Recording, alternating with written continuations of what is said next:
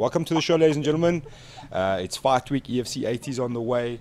Myself and Warren King, and we've got the mighty Garreth McLellan on the phone. Welcome to the show, man. How's it, bud? Thanks for having me. Fantastic. How's things going, Garreth?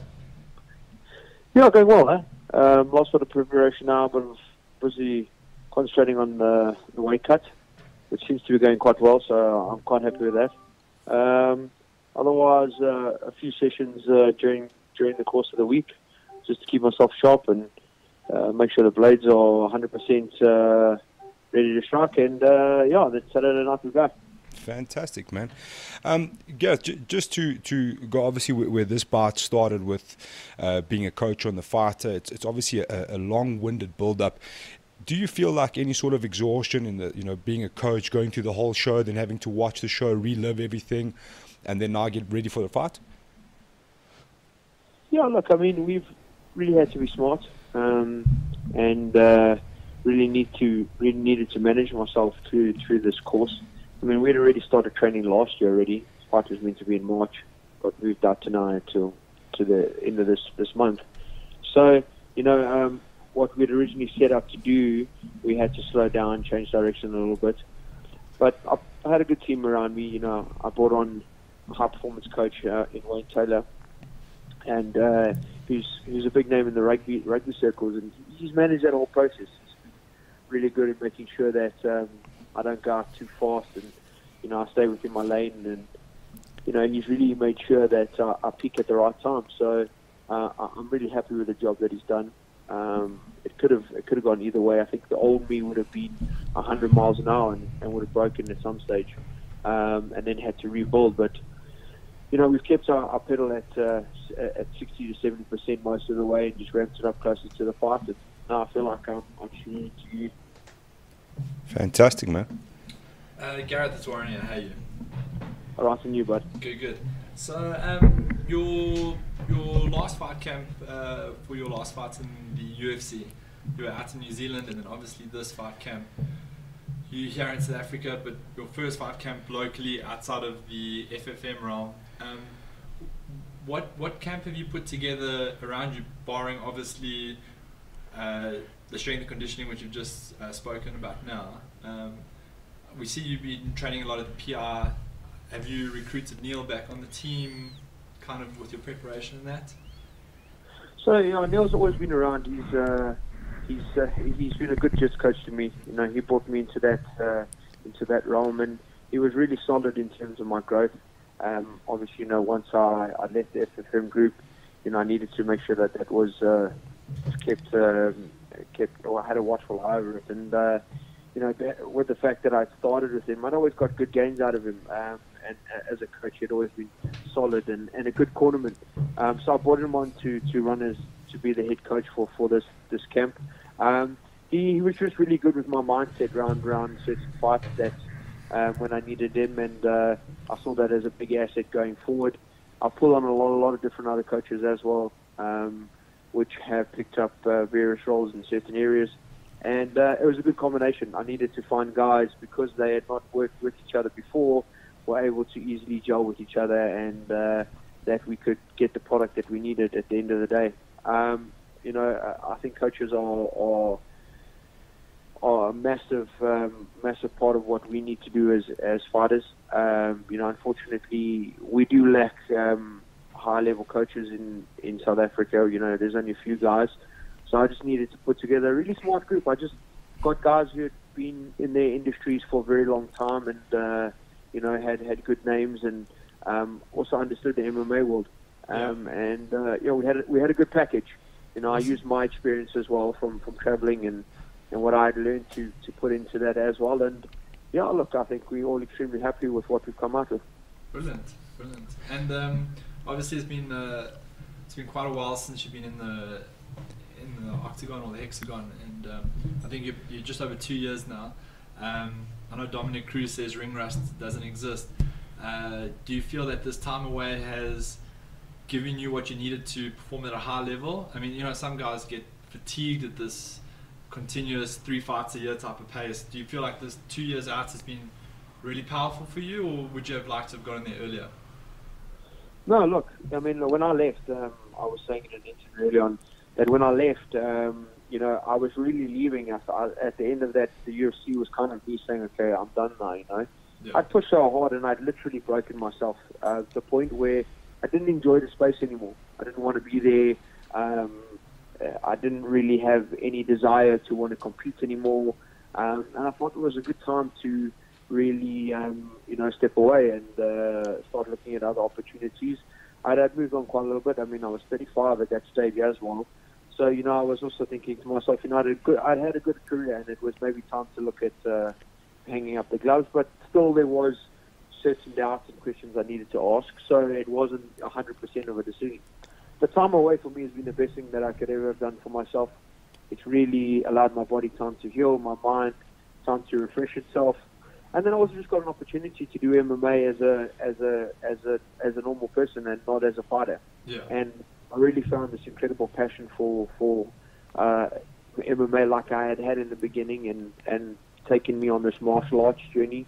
And uh, then of course, you know that fire inside of me, that competitive fire, just kept on building and building and building and building. And you know, once I realized that I didn't lose much, in fact, that I didn't lose anything, I had progressed in my in my abilities. You know, I really felt like it was time to go back and and see see where I was and, and what I was capable of, and was I capable of uh, having a good crack at it. Um, you know, the, the opportunity came along with UFC, and I, and I jumped at it because It was a good space. And you know, being at home and not having to travel and not having to go and do camps overseas, I could be in my own environment and be comfortable. Um, was was was an amazing opportunity, um, and I'm super excited. You know, I'm really excited to be fighting in front of the South African fans again. It's just a it's a it's a blessing uh, for me that I get the opportunity to do something that I love so much, and uh, I get to do it one more time. You know, Brilliant. not So- a lot of people can can say that. You know, that not a lot of opportunity to leave and then get a good opportunity to come back. Yeah, so, so I'm, I'm hoping I'm not getting the vibe yet that it's just one more fight. Uh, you, you're back for, a- for a couple of fights. Look, no pressure. I haven't put any pressure on myself. I haven't said that I I need to fight a certain amount of times. I um, I never felt like I needed to be in a certain direction. There's no there was no drive to say, oh, I needed to be champion again, or I needed to make it back to the UFC, or I needed to do this or that. I just said I wanted to fight. I wanted to enjoy that moment and enjoy that space. Um, and where it goes, I don't know. I had a long chat with my pastor about it and saying, you know, how how do I know when it's time? How do I know when it's time to really give up, or when how do I know when it's time to say goodbye? And he just said to me, "You'll know. You know, when you're in there in that moment, you'll know that it's that it that it's done or or it's not." So for me, it's an open book right now. Uh, I'm- I'm excited about what's in front of me. I'm excited about this opportunity with. Uh, with EFC, I think that Brendan Lazar is an incredible opponent that a lot of people don't give a lot of credit to, and uh, I think he's been so successful because people have overlooked him every time. He likes that underdog status. He likes to fight. Um, I think if we have a look at this, the situation that he that we're in, he's probably the guy that's uh, is is, is front runner. He's the guy that's been fighting. He's the guy that fought for his opportunity for the title. He's the rightfully number one contender in in the in the EFC. Um, he earned that right. I, I'm just somebody who's coming back. He's been given an opportunity for the things that I did before, and uh, you know I have to grab it with both hands. I feel like I've, I've worked the best that I've ever done as, as a fighter. I've been smarter, more intelligent um, in, in the way that I've prepared myself, and I feel like my mind just meets my body at the moment, and and uh, and my emotions. And I, I'm really excited to see what I'm capable. I, I really, I really feel I'm free just to do what I want to do. I don't yeah, as soon as I put an expectation on it and I, I really put a stamp next to it that I have to do this, I think that's where the pressure comes. Yeah. I'm under no pressure. I, I'm excited. I'm a fighter at heart, you know. what I mean, that's that's why I got into the sport uh, uh, because that's just a natural thing that runs through my veins, and I get to do that Yeah, um, I, and have fun and doing it at the same time. brilliant, man. Fantastic. Sorry, Garreth. Just you, you alluded to the fact that it's been quite a quite a long narrative in, in, in this fight with yourself and Brendan Lazar. Um, a lot of people are kind of counting him out on paper, saying you know like he's only two and zero in the EFC. Uh, he went through the fighter. Um, you know, a guy like yourself who's been around since since forever, basically gone to the UFC and stuff. How, how, do you how do you prepare for that mentally? Obviously, keep having people throw that narrative down your throat to kind of say it's going to be a walkover for you. I mean, you've obviously um, accepted the fact that it's going to be a hard fight, and he's unorthodox, and being overlooked is actually one of his strengths. So, so how do you prepare for that mentally when everyone keeps throwing that narrative at you? Well, the thing is, if I allow people to talk into my mind and into my space, then you know I'm gonna, I'm gonna, I'm gonna allow that to manifest, and it's gonna become, it's gonna become a factor. You know, I, I, I put boundaries into what people can say uh, and what people can tell me. I know what's in front of me, um, and I've been doing this a very, very long time. I've seen the best fighters in the world lose against nobodies. I've seen um, the best and the best rise to the top and fall very hard. Uh, the sport is not a, a sport of uh, of people who stay there on top for too long. There's very few people in the world that can can hold that high standard um, in MMA. There's one thing in MMA you are going to lose at some stage, and uh, it, it can happen at it. Um, I really just looked at this fight and I said, how do I want to prepare? I prepared as if I was fighting the best fighter in the UFC. I, I was preparing like I would always prepare with the same mindset and the same work ethic that I was fighting in a UFC fight. So I, I, I've I've put Brendan on this pedestal as he's one of the best fighters in the world, and I need to go out and beat him. And for for for me to beat him on the night, I need to be the best soldier player that can be, and that means mentally, physically, and emotionally, and spiritually, I just need to be in the right place, and that's what I work towards. And uh, when that clicks together on the night, I know what I'm capable of. I've done it many times before.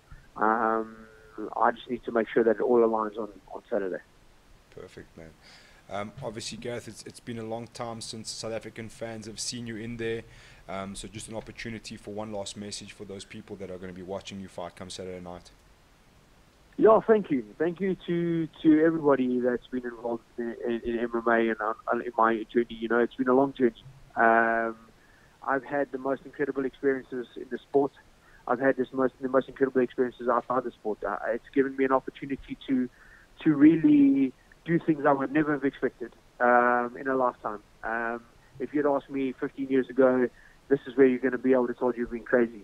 Um, I thank every single person that has stood by me, that has supported me uh, through my journey, through the hard times uh, and the good times. You know, it hasn't always been it hasn't always been rock starish for for Soldier Boy. He's he's had moments in in his career where it hasn't been, and uh, you know, a lot of people have always given me confidence, always told me um, how much I've done and how many, how much I've inspired, and those are those have been very important to me over the last two years, and keeping myself focused and, and pulling myself back to the stage.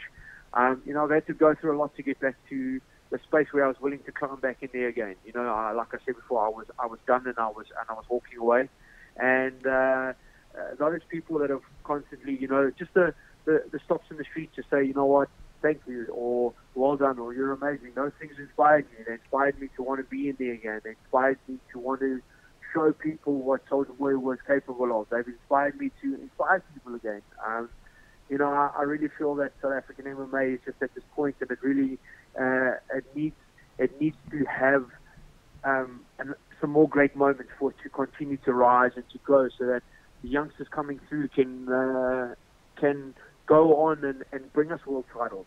Um, you know, I get my opportunity to, to put myself once again in, in, in the history books, and that's what I'm looking for. I'm looking to leave my legacy and my stamp on South African MMA. And when I when I say goodbye, you know, I want people to be proud of the things that I've done. Awesome, man. I think that anything else, Warren? Cool. Fantastic, Garreth. Thank you so much for your time. Um, we just want to wish you the best of luck with the weight cut and the rest of the bit that's left until Saturday night. And thanks again, man. Thanks, thanks a lot, guys, and thank you for having me on the show. Thank you, man. Cheers, Garreth. Ciao, man. Cheers, bye. So crazy. No, it is crazy. I mean, that, that Oak's fighting Yoel in a, in a Joe Mero. Also, also clean athlete. Yoel, 27 million, baby! Yo, I really hope his next fight shorts are red. what? Red panty night. Red pants. Oh, okay. Good one, good one, Rock. Cool, Rock. Anyways, that was uh, Garreth Soldier Boy McLellan. Um, yeah, we're back. What's happening, gentlemen? Nothing much. Just uh, training, working, Mm, drinking coffee, living the dream. living the dream. It's fight week. Are you pumped? Did you notice Rourke's uh, pitched up for two two In a row. In a row. In a row. Record breaker. My goodness, we might keep him on a little bit longer now. yeah, yeah. He's Mm. buying himself some time. We're gonna add on like one more responsibility a week. the, pro- the problem is you, only, you can only do five responsibilities. You add one, he's going to drop the other one. Well, listen, I remember, I remember that we have to take a selfie for this one. Oh, well then. Well, you haven't taken Well, it yet. So. Oh. if he doesn't take that selfie, he's fired. he's fired. Anyway, fight week. Are you guys pumped? Oh, very pumped. I, I was saying to the guys today at training that um, that like this break has actually been fantastic. You know, everyone's like quite juiced up for the okay, not juiced up, but hey, budget. mm, here we Um, go. Everyone's pumped up for the Five the minutes and we're into a Bajan joke. Um, everyone's pretty pumped up for the for the for the um, event this weekend. Um, you know, you know what it is like. Uh, absence makes the heart grow fonder. So we, um, yeah, we're all looking forward to it, and it's a pretty good card. I yeah, it's think. quite a strange one because like I was like, nah. no, I think you kind of like you forget about that it's coming kind of thing, Mm. and then it arrives and you're like, oh shit, it's fight week, and then you start going through. Like, I mean, I know obviously people are pumped to see Soldier Boy back, who we just Yeah. spoke to.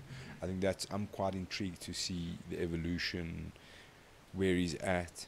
I'm super intrigued to see how Brendan Lazar comes out for that fight, but we're going to get into the fights. Yeah. And then I think, like, the, the funny thing w- with cards like this, because it's been TF2 and it's been this long build up, um, the return of Soldier Boy, everyone's kind of forgotten about Luke Michaels, Conrad Shelby. Conrad, you know what I mean? And that's, there's so much, and you know, you know what, and, and, and props to, to Conrad, and I think Luke as well. Like, every fight they have, they create this, like, personalized animosity, which just gets people so jacked up.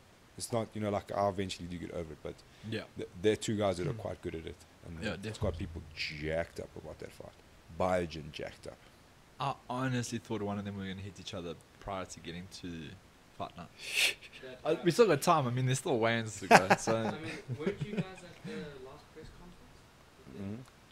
Weren't they? Oh, we weren't there, never mind. Uh, the, Are you throwing shade or are you asking a question? I, I, on I'm so confused right this now. like really wants to get kicked out of here. eh? he really wants to get kicked out of here. it did get, get, got very intense. Yeah. I didn't even get time to take a photo. Uh, just on a, just a note on that, uh, Warren mentioned the weigh-ins. Just so you know, and I know people don't ask me a thousand questions, the weigh-ins are not going to be televised. That was what came through And- today. And they're not going to be at the PR. They're going to be at 10 a.m. Carnival City. I think they're just doing the early weigh-ins and that's it. I don't think there's going to be a ceremonial weigh-in. That's the way I understand it. I think it's cool. I mean, like, how much viewership do you get from uh, weigh-ins? Yeah, it seems like a lot of. It's a cool thing. I, I, this is, I'm, I'm a sucker for Wayne's, bro. I, I, love me a Wayne. I don't know why. I'm just so addicted to it. Like I love watching I- Wayne's. I- I think I- it just like gets me into the mood. I thought the weigh-ins were awesome when you were like dehydrated, agitated, miserable. You get on there, you see your opponent properly for the first time. Like that's when it was still. yeah. Now it's just like you're just going through the motions. You know, you've, we've seen each other already. We've done our weigh-ins already. We rehydrated already. Yeah. Now we've come back a couple of hours later. We're gonna step on the scale. Most folks don't even take their shirts off anymore. Folks Or, are getting on or with they wear 25 pieces of clothing. yeah, and then you have to wait fucking ten minutes for them to take it off. Um, but I mean, it's, it's definitely a lot. Fucking worst. I hate it. I'm like, bro, you, where did you think you were going? you knew what you were gonna do. You're gonna take clothes off. So why are you wearing everything possible? Just Just it's like crazy. It's like if you go to the beach and you walk and you walk on with a hoodie and a shirt and two pairs of pants and spats and fuck. It drives me crazy. And it's that that like uh, background music for the EFC, and it's just, just like like an awkward silence just with that song repeating itself in the background while some dude takes off jacket, beanie, t-shirt, shorts, pants, socks, shoes. I'm like, Jesus, bro. was you know what the crazy thing is is that um, that was always interesting when you had the real weigh-ins Yeah. live because Oaks were trying to take off pants and then you could really see who was properly damaged from the way cut because Oaks were like falling over, holding onto their coach, like they couldn't get their, their pants off. Um, but now it's like, fuck, what what are we doing? Yeah. there? What are we doing? What were we saying? Uh, yeah, no, man. It's, no, I think we. but I'm- anyway, I'm pumped. so fight weeks happening. Wayne's are not going to be televised. Rourke's going to be there, so he's going to be sending us stuff. So it's all cool. Don't worry. Rourke says he's got everybody covered. hmm Don't you worry. I was gonna go as well, but then um, have to be there quite early. I was Yeah. gonna I was gonna go as well, until they said uh, Brakpan, and I was like, Mm, yeah. That's a drive to watch people weigh in, bro. Especially if it's just going to be that that early sort of Wayne. You know, it's randomly guys hitting the scale. Yeah. It'll be cool if they set it up like um, like the UFC does early Wayne's. You've got like that little backdrop and they call Oaks in and they Yeah, come yeah. in and and they I- got like media, they got chairs for the media, and Yeah, and like that would be cool. yeah. You know what I mean? Maybe they'll do that. I mean, Maybe they didn't say anything. They didn't even ask if you come in. They were just like, 10 a.m. It's not going to be televised. okay. Cool. So yeah, It is what it is. It is what it is. What's on the Um, magic paper today, bro? Yo, I got paper. I got paper for days today. So much happening this last weekend, eh? four. Five. We went You're so five today. written a thesis here. Five today. Five pages today. Color coded as well. it is too. Oh, God, here we go. He's done. I don't know what. Today's my turn for the Yeah, something. im- Something. im- It's like a Rourke's gonna- crucial, crucial Gonna, piece of your chair. Rourke's gonna take a three meter drop behind there. Oh, we can only hope that chair breaks. not, not that you fall down to your imminent death, but if you just death. fall like down, that'll be awesome. The admin that would be involved. If he it makes one more noise, I'm putting my camera on on my phone, just in case. Uh, the type of admin we'd have to go through though, if you did fall and die. Yeah, please don't. Uh, um, Send your uh, producer resume through to. We might be, we might just have a spot opening up. we had a lot of uh, African-born fighters in action this past weekend. Not for the first time, as you research. This guy. no, no, this past weekend. I'm talking about guys who had who fought. So we had Gunther get back to winning ways in Did you Singapore. guys, you guys watch the fight? Yeah, yeah. I was watching it. Jeez, man. I was I was speaking to some of the guys um, like Tresor and that that you know that know a little bit more than, than we do about. No one seems to know where Gunther is, where he's training. Well- I'm guessing it's not in South Africa. Well, I saw I saw he had uh, Roderick, that that judo guy. You know the judo guy, Roderick Kuku and whatever. I'm Yeah. sure that that was the guy that was in his corner. Yeah, yeah. and he's South uh, African-based Congolese judoka. Uh, uh, Well, dude, his his stand up looked super impressive to me. You know what I mean? Not look. Um, um, let's specify. Not slow you the know, bus. You know, not like uh, elitist level, but it looked impressive, man. And he was he was super confident with his stand up. You know what I mean? Like the way he was engaging. Um, he was throwing a left high kick, which eventually wa- wa- was what won him the Yeah. fight. But he was throwing that thing like often from from from the get go. You know what I mean? Yeah. It just looked like a completely different fighter, which was crazy to see. Super impressive, man. So he's not with Cat anymore. I, uh, look, I, I don't know, but I don't think so. He's. I don't think he's here. I think he's in France or, or, or staying in Asia somewhere, and he's training there. Makes sense. I mean, I, I know a lot of guys who sign with one generally get based in Yeah. Singapore and they utilize. it. I think I think evolves free and open to one fighters, if I'm not mistaken. But I don't know. It's uh, it's a good question. Maybe we should speak to someone and find out. Yeah. Um. Look, I, I did have a contact that was knows. with him, uh, Raisin or whatever his name is, was communicating with back and forth. We actually were going to set up an interview with Gunther, but it just went quiet again. So I don't think he's come back. To be honest, I, I think that's the vibe I get. Evolve, you might be right. That Yeah. might be where he is. But yeah, if you guys haven't seen it. Um, jump onto YouTube. That's the cool Yeah. thing about one. You can go relive all of that. And I think he was the second fight on that card. So if you really want to know, send me a message somewhere. I'll, I'll send you the link. Um, it's it's Also, World- th- also the app is amazing. World of Heroes series or something like that. I don't know. Yeah. It's a recent one. It's the One Warrior series. Yeah, yeah, yeah. Super cool. And that's cool. You can go check that fight out. Yeah, man, it was. I was super impressed. I was so happy to see. I mean, Gunther's got quite a funny story. Like we still don't really know the truth, um, but but but glad to see him excelling. It was Mm. it was a nice. It's always fight. good to see I think that's a kind of fight that's gonna start to like really get get a bit of traction for him Yeah. overseas. But that Warrior series is quite peculiar in the sense that it's a very small kickboxing ring. yeah, It's not uh, so like when they when they do one events uh, and they have like the international Grand Prix with all the world's best kickboxers. It's, it's actually a very big kickboxing ring. yeah, And they MMA fights in it as well. But the Warrior series is a very small ring. Uh, there's not really anywhere to go. It kind of forces you to be quite confrontational.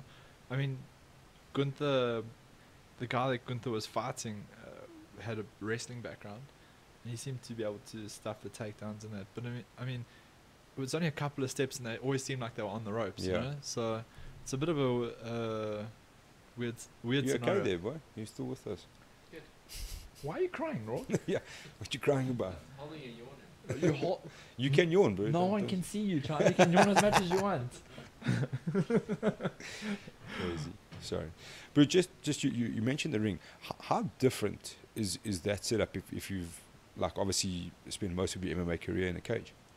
Well, it's quite different because I mean, anytime you clinch up against the cage uh, in a traditional hexagon or octagon, it's like a third post almost. Yeah. You know, so you're not going to go any further than the cage. So a lot of guys can use that in offensive or defensive wrestling. Sure. Whereas the problem with the ring is that it's very easy to slip through those ropes. So your whole uh, cage cage wrestling or war wrestling game is very different, and you see very little clinch against the against the ropes uh, when they when they have these events in the in the ring. So it's it becomes more about freestyle wrestling and kickboxing rather than uh, more MMA style wrestling. Okay. Um, Do you think that's done like by design by one? They don't really want to like kill off the. Definitely. They want to kill off like the cage sort of wrestling. Definitely, I, I, think the reason they obviously have the small ring there is they they want these guys to really push the pace and Okay. they want to see some something exciting. Um, but Joe, I, I think it also lends itself nicely uh, to the more traditional martial arts fans Mhm. or combat sport fans that are still a little bit maybe anti the cage element of mixed martial arts. You know, it's cage fighting. Yeah. So I think um, like the traditional Asian community can probably process that and, and get on board easier with the fact that it's in a ring. But they do they do have events in, in, in cages. 100%. Yeah. Hundred percent. But I'm- I'm uh, with you. It's very interesting. It was actually I was thinking about it when, when I was watching that fight. I was like, you you can see like in, in, in the movement and stuff like that. It's there's not that much space. You know what I mean? Like the way guys are trying to cut the ring and stuff like that is very different. You know, as opposed to having all of the space in the Yeah. hexagon. Um, and just thinking about those differences you've got to have in your mind in your game plan. I mean, I mean, especially for a guy like Gunther, well, we saw the last time he he was quite like I want to say wrestling heavy, but like almost like a kind of grappling like tire you out kind of style. they were in a different ring for his first fight, though. Eh? I think it was the same. Is it? I'm pretty sure. Yeah, it was very Yeah. very similar. Yeah. Okay. Anyway, and uh, we're, we're talking about African fighters. My boy Yeah. Frans Mlambo With a slick with the money choke. Slick little guillotine, Mm. modified guillotine choke there. Yeah, I'm I'm I'm I'm glad for him, man. He's he's had a hell of a story, hell of a road. Um, Is he out of Brave now? Yeah, he's so his his last fight when he came here when he fought for Brave, that was the end of his contract, Oh, okay. and he had he had been approached by Bellator already, um, so he had signed the deal, Awesome. worked out his contract, and got out of there. It's a good move. Yeah, good for him, man. Look, he Um, was he was getting looked after at Brave, but uh, um, you know he, he lost that title fight. I think that was the second time he had lost to I think it's Stephen Loman. Yeah, yeah. Second time he lost him. So I think like for him it's like, well, what do I do now? You know, go back, start again, Yeah. build it up. It's very difficult to get the third fight back. Yeah. Guy. So it was a smart move for him, man. And he- I mean, he's fighting in Europe. Yeah. You know, he's got teammates, he's got friends around, which is always cool. Well, on that card, he had two teammates on that Yeah. card with uh, Gallagher and Mm. Ward. Um, yeah, it was a great performance. I mean, quick wasn't wasn't much to really talk about besides a really slick. Well, there's something we have to talk about. Was another one of his teammates, which was Artem Lobov. Oh, fuck the goat. We'll get there. We'll get there. We'll get there. Just want to say, I t- told you so. Oh my goodness, that was that was a horrendous fight. That was a horrendous fight. but I Um, wasn't wrong. No, you weren't. You weren't. You weren't. If you should have listened to our bet the house. Told you guys. Pink slips on Artem, boy.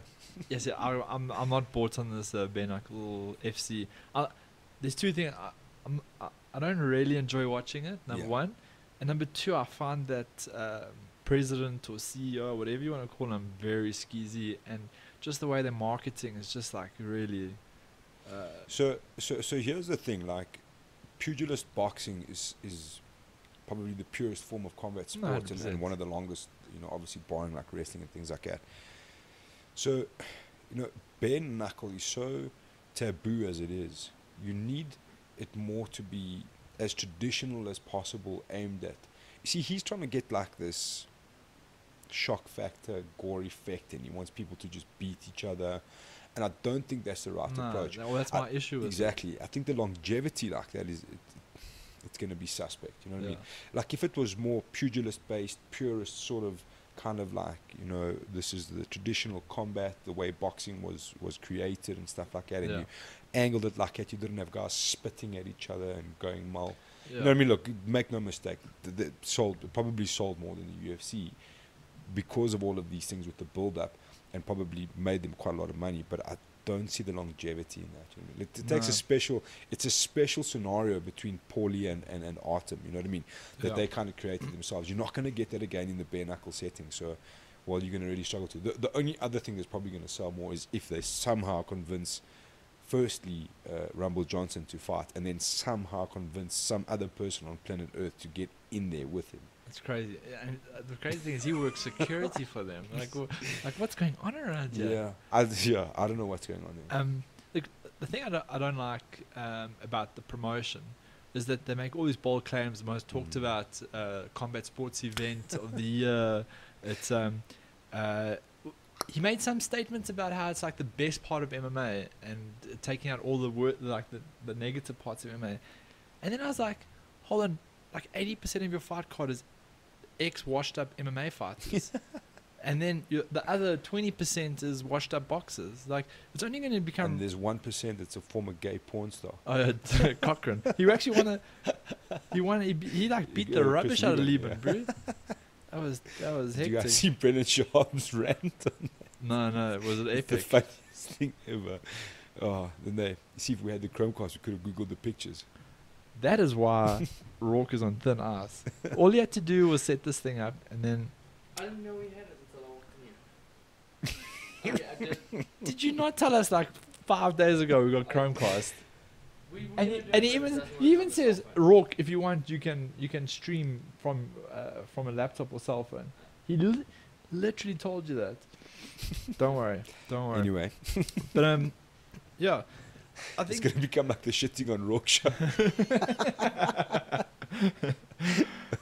I think um, I think I need to start taking this bare knuckle thing seriously. Was when is when athletes start preparing as full time bare knuckle athletes. How you know? do you prepare? What do you do? The, go It's, just- it's boxing. get some glass on your hands, and It's, boxing without gloves. You know, it's. Yeah. Uh, I saw that they they're getting they quite. strap like the wrists, kind of. yeah, it almost looks like a cast, Yeah. and just obviously leave the knuckles bare. But I think uh, is that like a commission thing? Like you have to have a wrap? I th- is, what I know is that that was optional in the beginning. is it? Yeah.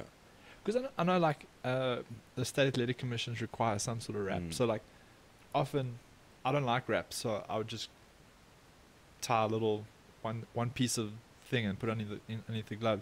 I know a lot of guys also. There's a couple of guys that do the same thing. So maybe it's a commission thing that requires some sort of Maybe. wrap, Maybe. because they, they must fall under an athletic commission of some sort. Yeah. Yeah. It had to get sanctioned. Uh, uh, there's a whole. There's actually a whole documentary about how they got it right and Yeah. the whole battle. But for sure, get a new CEO of BKFC. for sure. Look at me now. Or at least put that guy in the back office and get a new uh, Yeah. face of that. yeah. Let Rumble Johnson take over. Oh, that would be epic, eh? Damn straight.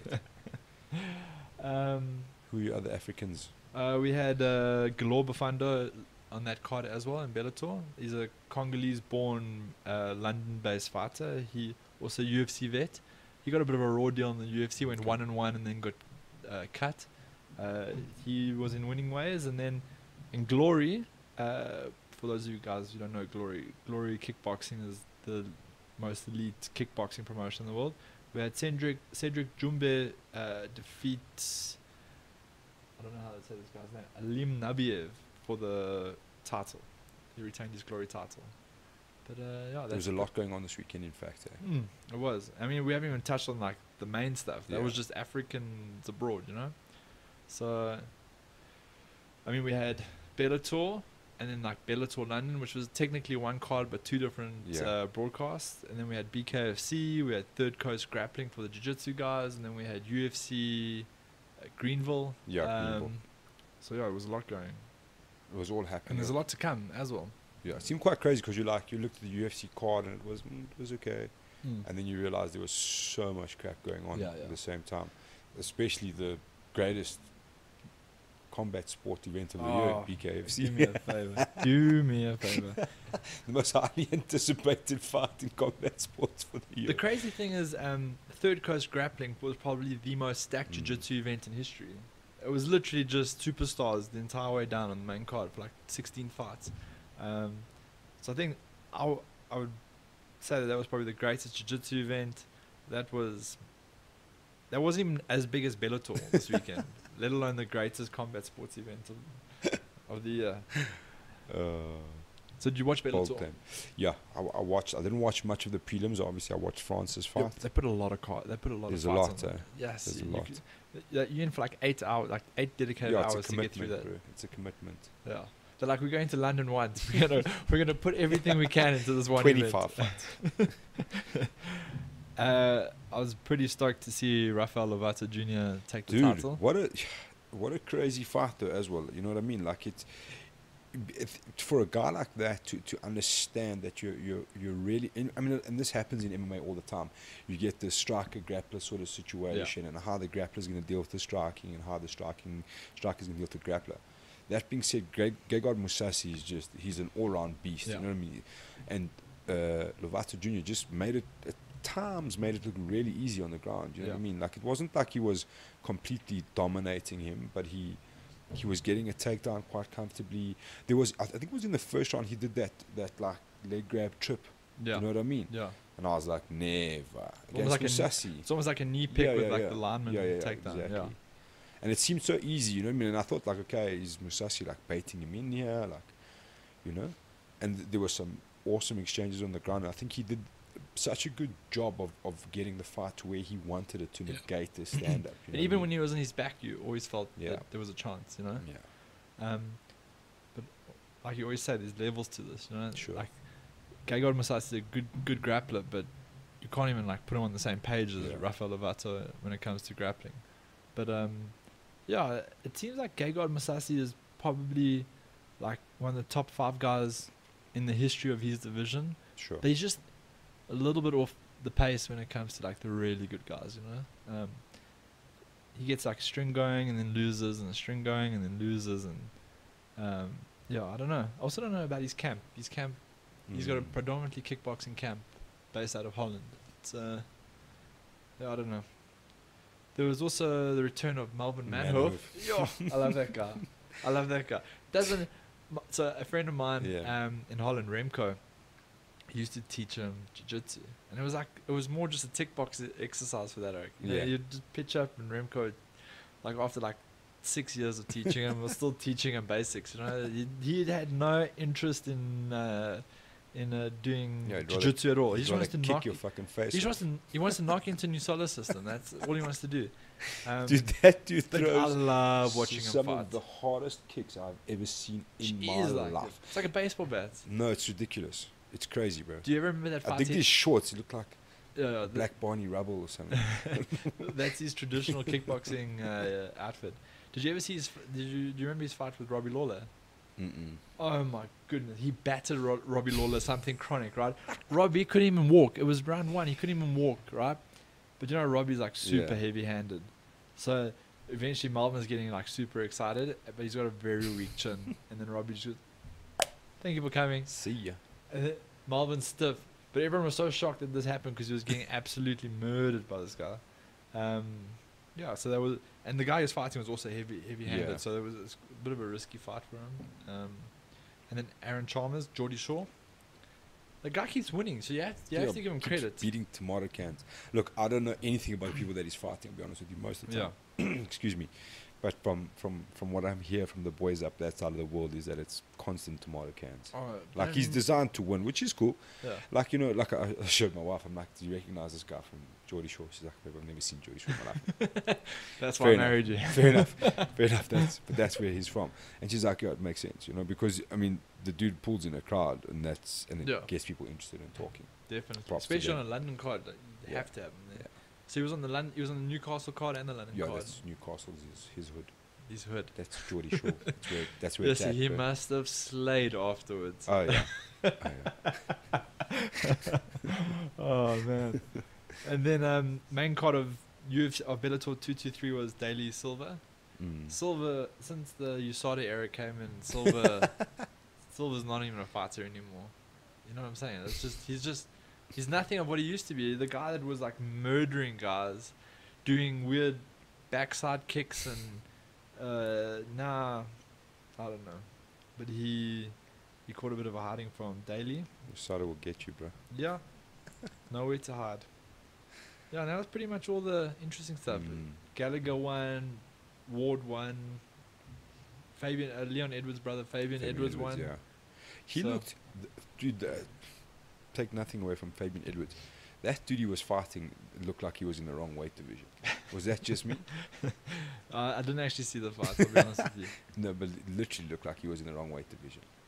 Or just too it small. looked like it looked like when Elvis in Guala Guala fought um, Mark Cumber.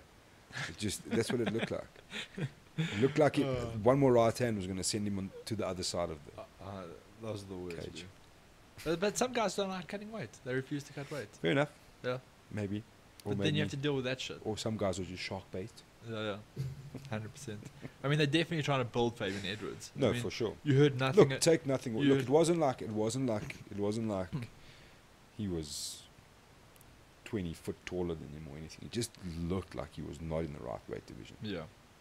That's the way it seemed to me. There was no build up for that guy. Everything Yeah. was about Fabian Yeah. Edwards coming to that card. Yeah. And I think that's what Bellator does. That's a lot of their modus operandi. Is they they build up stars like that. Yeah. Good for them. Good for them.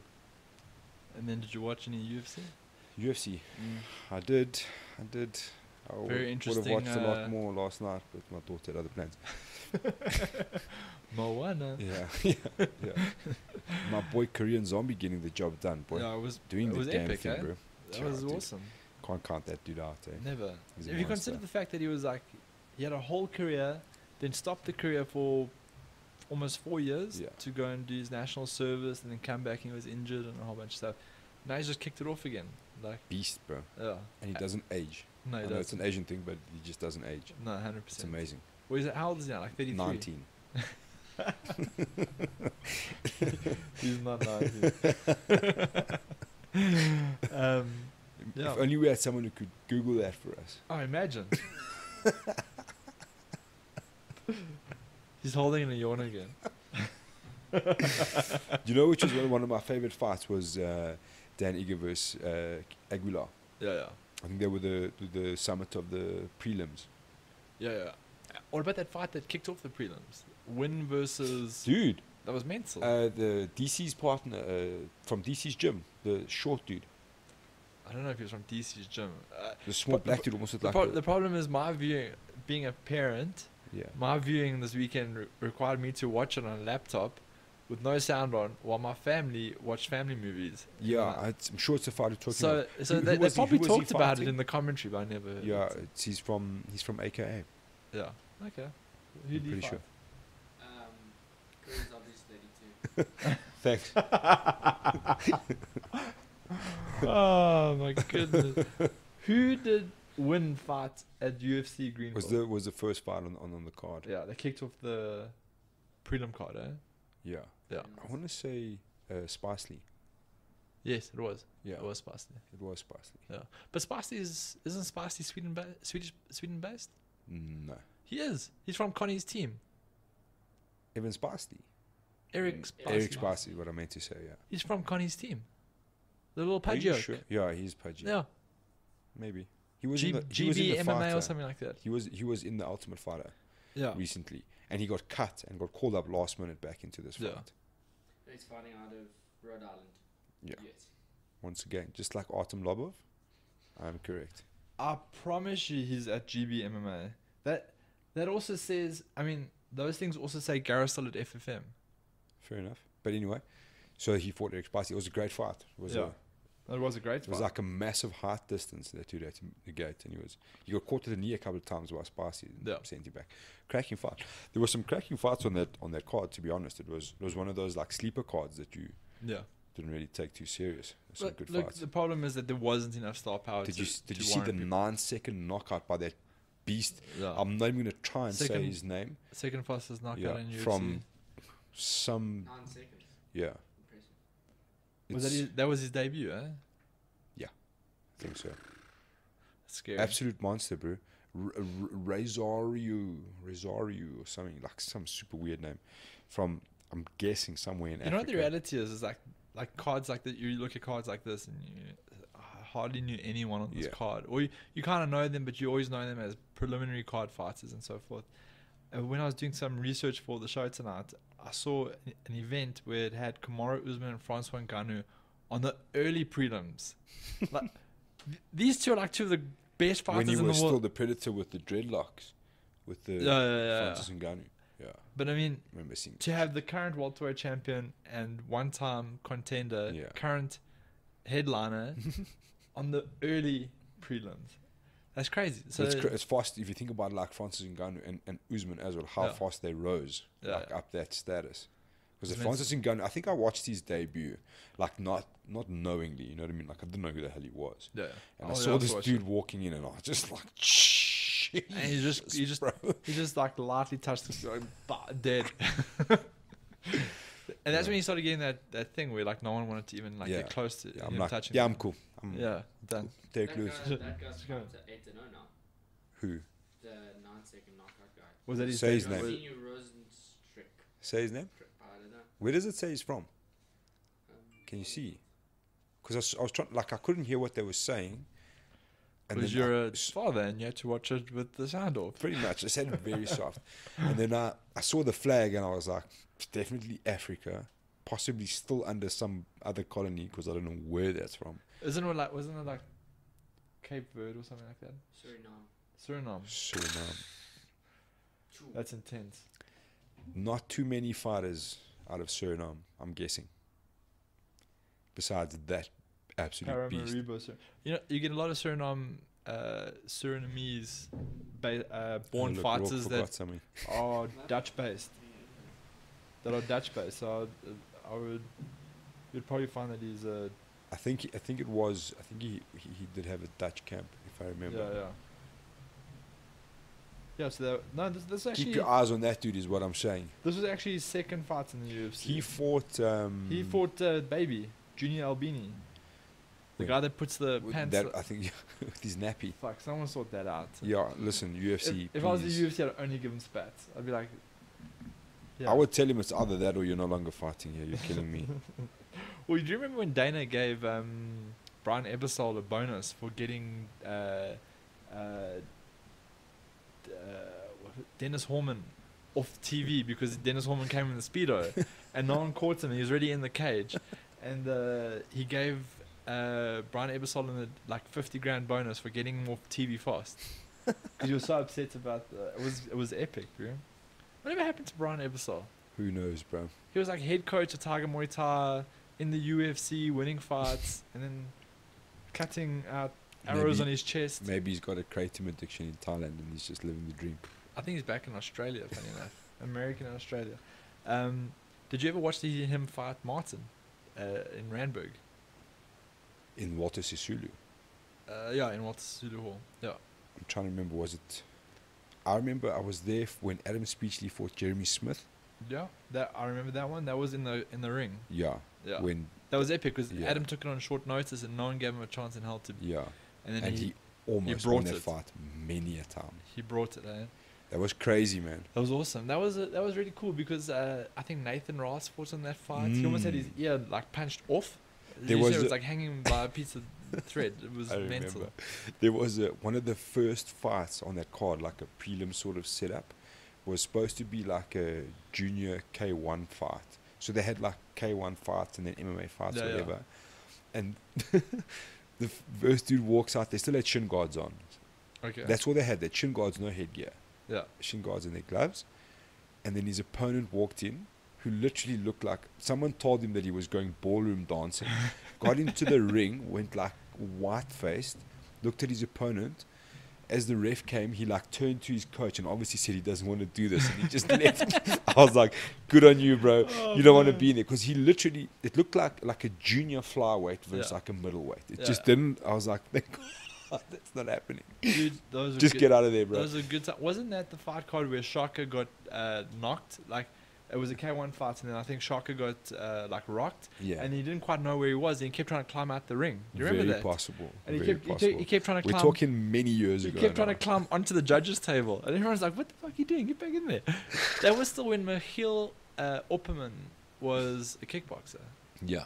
There was there was some crazy shit going down there at that yeah. time, and there was some that fight with I, I wish that thing is on video. At Adam Speechley versus Jeremy Smith. It was epic. It's one of the craziest things I've ever seen because like I had mates that were, that were training with Adam, and Adam was at school with us, and and we were like, and you're like, you know, you know, Jeremy was quite notorious, and we looked at this and we were just like, Jesus, this dude's a But he maniac. brought it, eh? bro. Fuck, was- it was insane. I think. I he- think he just he literally gasped from like carrying that weight. He was just Yeah. like, I can't do this. there were there were there was a massive weight difference Yeah. on the night. You could see it was just it was ep- it was crazy, but um, yeah, those were good times. Paul man. the Force as well. Do you remember Yeah. Paulie? Paul was actually rolling with us the other day Is at it? uh, four like four elements. It was awesome.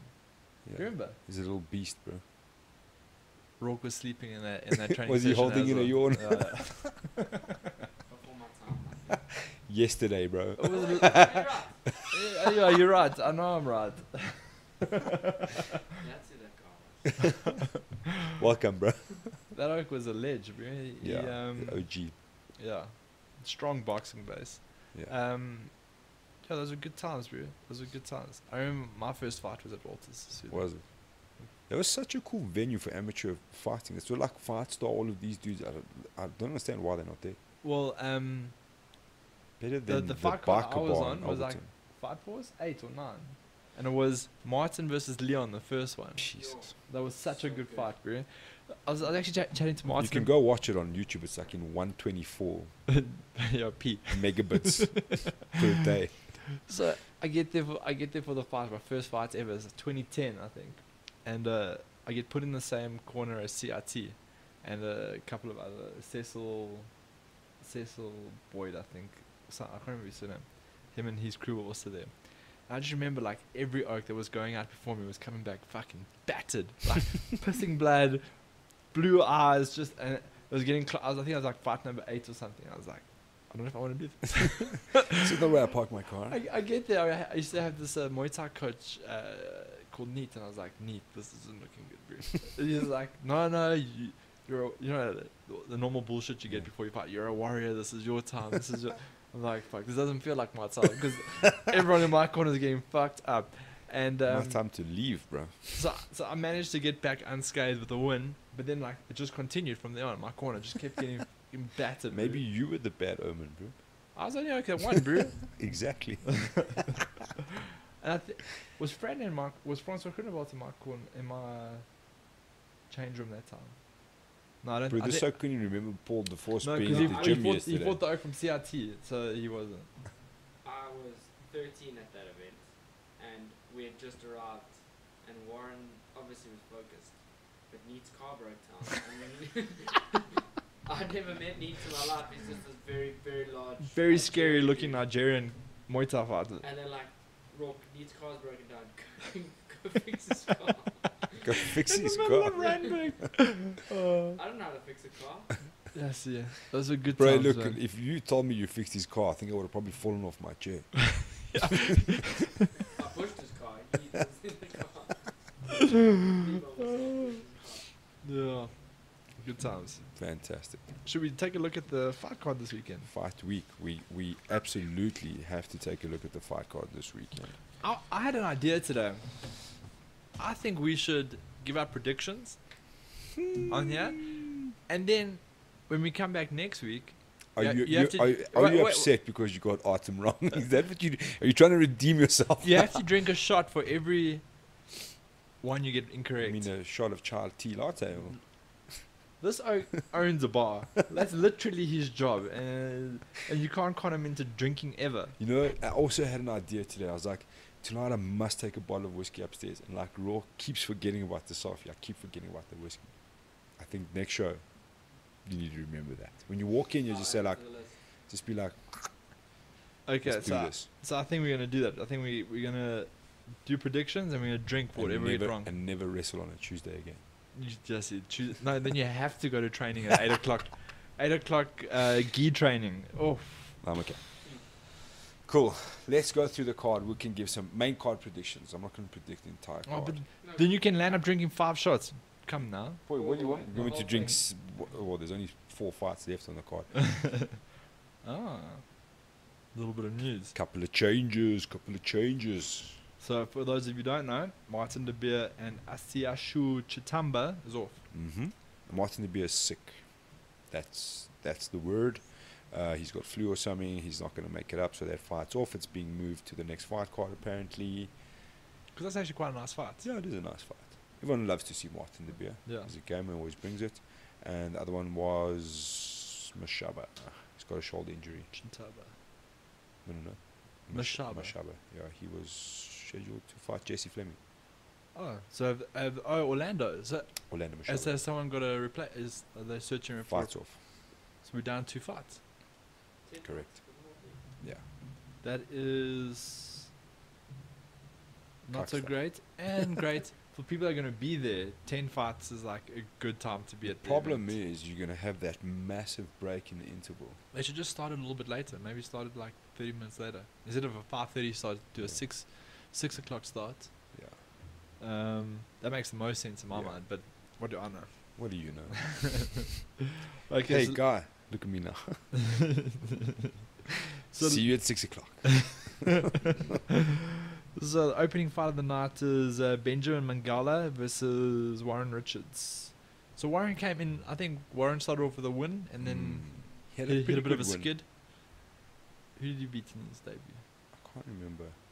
But it was like, was it? It, it, it was. I remember oh, it, it ending was. like I remember. quite I know, dirty. no, I remember now. It was uh, Stefan De La Rey, and then he hit him in the back of the head. or Yes. One after the fight was stopped. That's the one. I remember that. Yeah. Um, yeah. So both these fighters are one and two coming to this fight. So Oh, then he caught Rudy Roots and Yeah. and a big afterwards. So they were like, "Saw what you did there. yeah, you definitely got punished. Saw what you did there." Like the brave, like the brave fighters coming back to EFC. I had someone ask me about that today. They're like, "How is Sylvester Chipum on the prelims?" And he's like, "There must be a mistake." And I'm like, nope. "No, this was from the beginning." He's like, "I know, but he's worth more than the prelims." And I'm like, "Yeah, he also went to Brave." There has to be some sort of repercussion, eh? you Um, can't just jump ship and be like, "I'm back." Yeah, exactly. Doesn't always work. You know, not the way you plan anyway. So how do you think that fight's gonna go? Uh, Warren Richards, I'm I'm I'm gonna stick with Warren Richards. I think he has a good amount of aggression, fair amount of skills. He's quite athletic guy as well, eh? Yeah, It's in good shape. I'm not a fan of the ponytail, if I'm honest, but we'll we'll let that Oh, he's slide. got the whole Wolverine thing going. Mm, Mm. we'll let it slide. I'm gonna go. So we're all on the Warren Richards bandwagon on that one. Yeah.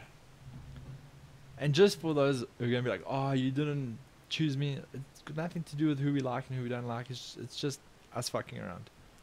It's the way we see it. and listen, whatever we say, whatever Warren says, you can bet a thousand Oh. rand per bet. He Especially like the guarantees it. Artem uh, Yeah, Paulie he Malignaggi fight. Oh my goodness. so don't even worry about betting. Uh, what is it? Bet. Better bet. Better bets. Better way? bets. Betway. Betway. Betway. Correct, sir. Betway. Will Shout out to Betway. you can find them at betway.co.za. This is not an ad.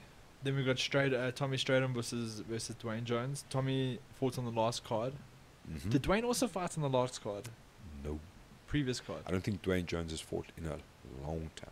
No man. Rourke's going to Rourke. let us know. So, so this is an Why inter- don't you just go to Tapology and go onto the page for E EFC? So so this is an interesting one for me. Um, I don't know if you guys saw a little like write up with Dwayne Jones. Um, his manager got in touch with me. She was like, you know, Oh, you would know. You just, you just put out a article on them. No, but it's like it's a weird thing because I, uh, when I look at Dwayne Jones fight, he's obviously got a chin and not much else. If I'm honest, you know what I mean. Like he, his stand up just seems so like sloppy. But he's but like that being said, he's a young guy. He's still learning a lot. I feel like he was pushed up into the pro circuit too quickly, so he's now learning things on his feet. How You know deep what I'm was his amateur career? No Uh, idea. According to Tapology, uh, he went one three. As, As an, an amateur. amateur. Yeah.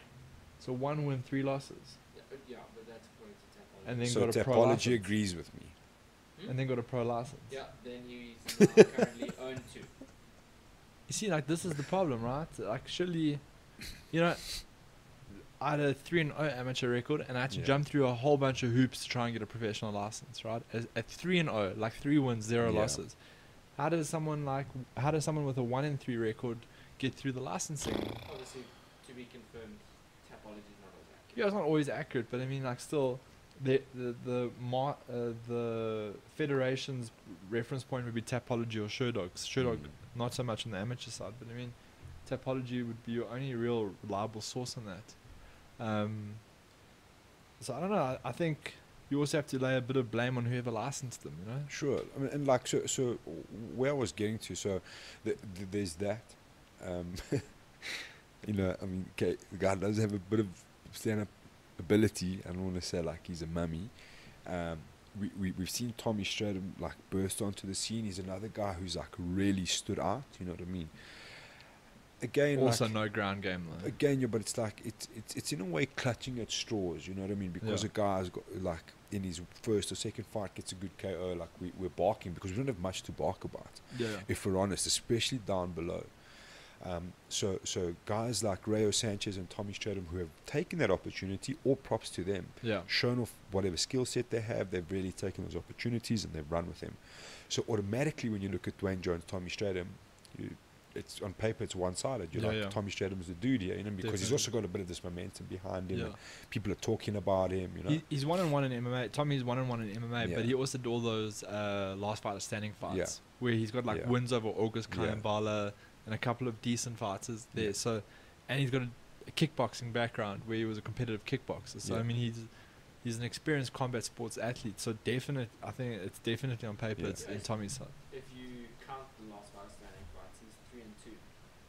Who did he? Who did he? Donny Swat, Leo Glass, and August Kaimbala. Okay, listen. He also Glass bo- he. Leo Glass. Let's remove that. Leo was way past his prime. You know what I I mean? Like saw- if we're I honest, some- like I saw some epic fights with Leo though. you like know, when look, Leo back in the day is a different story. Standard Bank Arena. Yo, did you ever go to a Standard Bank Arena fight? Not, no, I don't think so. Leo boxed the face off this one oak. I can't, I can't remember who it was, but it was one of the best stand-up uh, fights I'd, I'd seen at that stage. Obviously, Yeah, I sure. still pretty new to it, but um, but yeah, he did. Leo definitely at this stage isn't really a talking point yeah. at Shout this out to Leo stage. Glass anyway. Yeah, no, Beast. Flipping legend, bro. it. I was just going on Facebook about him making a comeback. In boxing, maybe. That makes I sense. might be wrong. That makes Definitely sense. not in MMA. We hope so. Like the game has changed. You know what I mean? Like But you know, you know, what I don't understand about some guys is that if you love striking so much, why not compete in striking? Yeah. You don't have to even deal with I with wouldn't mind seeing. Leo Glass go have a little dab at boxing. Definitely Yeah. not in MMA. I think remember his son was having a good run at it for a while. I don't know. I, a pure boxer now, I think. yeah, but I mean, uh, I mean, that was good for him. But like Leo, if he wants to get his competitive juices flowing, I'd go straight to boxing. I wouldn't have to have to deal with all this grappling. If head kicks, and elbows. Yeah, I mean, he's a good boxer. Why not Yeah. Box? Anyway, Tommy Stratum. So Tommy Stratum, I think we're all Dwayne on the same one Yeah, there. definitely So not. you all go Tommy Stratum. I'm gonna yeah yeah. I'm gonna go Tommy Stratum. I just want to say like I think, I think you're gonna see a different Dwayne Jones. The things he was saying like he's What has he changed? you know well not that that he's changed. You know he's evolving. He's seems very serious. He said a lot of good things. When was his Um, last fight, Rourke? Dwayne Jones, uh, it Was it not Roderick Kenner? 2018. It was on How much can you August. evolve? August 2018. He lost to Anthony Miller. Oh, Anthony Mailer. How can yeah. you? How much can you evolve in nine months, though? Yeah, I hear you, but like I don't If know. there's such a big difference. just a, it's just a vibe I got. You know what I mean? No, Like he's, he's definitely been a bit more stressed, but uh, I, I I think he's got his hands full. I think he's definitely got his hands full. So Tommy Stratum all around. Yeah, Hundred percent. Fantastic. Sanchez versus Cassandra. So Rayo Sanchez versus Serge. Dirty Cassandra. Hey, he said it. I didn't say. You told me. he got tagged in, bro. People tagged him and they were like, look what these oxes say. I saw him getting tagged in and they were like, listen, Serge, is what they're saying about you. So that's what Warren said about you. Just so you know. I'll just said it. Um, I'm gonna I'm gonna go with Rayo. I don't think it's gonna be clear cut to be honest. I think Serge Cassandra's been in there a few times. He knows what's happening. He knows how to bite when he needs to bite, as Warren would say. Um, he knows when to throw an illegal knee. What a you know. dick. But um, I, I, I like Rayo Sanchez. I like the I like the stuff he's doing. I like his fighting style. He seems like look. I'm, I'm not going to say he's the next superstar just yet, but um, I, the the fight against Bobo, he showed a lot of good things, and he, and he's quite confident, and he's and he's very serious about what he's doing, and, and, and I like the kid. I think he's I think he's good, man. Yeah. So I'm gonna I'm gonna stick with my boy Rayo. Yeah, I'll go with that one. Yeah, definitely. I So- thought you were gonna say Serge Cassandra. I was like, come on, bro. I'm a huge search. I know.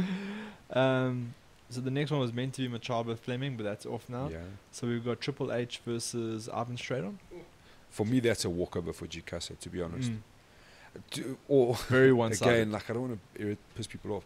All due respect to Ivan Stradom, in his last last fight, it looks like they literally dragged him out of the pub and thrown him in there.